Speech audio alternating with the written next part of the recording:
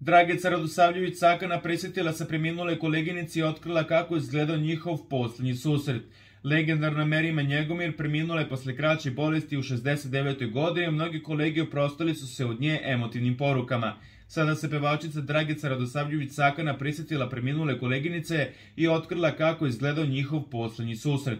Merimin glas nije utihnuo. Ve sam čula rano tog jutra kada je preminula. Znala sam da je bolesna i bilo mi je glupo pozivati je u to vreme. Zapravo ona nije htela da se čuje ni sa kim, nije sad to nešto da je ona krila, ali je prosto žena bila zaokupirana. Iznenadila se i sama time što su je pronašli, rekle Cakan.